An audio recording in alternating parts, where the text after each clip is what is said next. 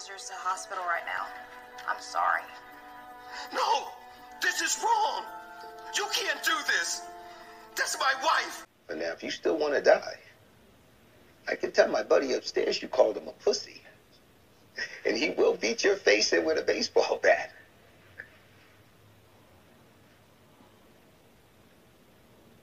But you don't want to do that. Manipulative to the core.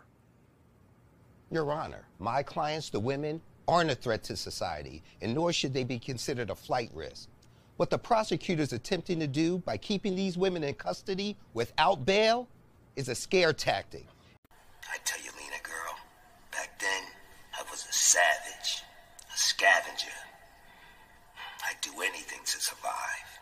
Rob, cheat, steal. I'm gonna miss those Christmas gifts, though. Oh, yes, yes. hey, can you hang on at least till after Christmas? so, are you dating anyone? What's going on with you?